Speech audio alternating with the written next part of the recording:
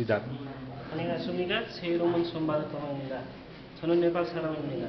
제 나이는 26살입니다. 저는 11, 20, 21년부터 폐관 기술 자격증을 타서 폐관 공무로 일하고 있습니다.